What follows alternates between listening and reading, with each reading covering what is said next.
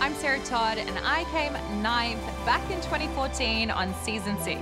Before MasterChef, I was a model, but since the competition, it has opened a world of opportunities. I've opened restaurants, written cookbooks, shot TV shows, and worked on my own product range.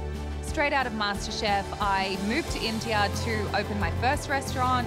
Opening my first restaurant was my food dream come true, and it just, it felt overwhelming, but just, it was such a huge pleasure to be able to do that.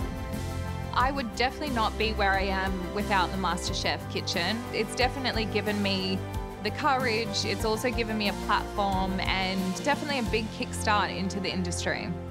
I also have a son, his name is Phoenix, and he is so excited about me going back onto MasterChef.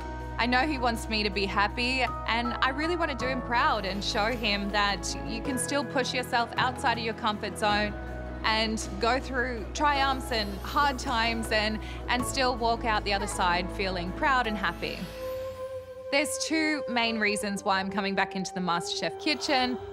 I would say one is to really share the knowledge that I've learned along the way, but the one thing that I really want is to take home that trophy. My cooking style, I feel, is quite classical at the heart of it. The most important part for me is to have the essence of home food or, you know, family or nostalgia or experience. And then I kind of take that on and put my little flair on it, the little Sarah Todd flair, and uh, create something that means something to me.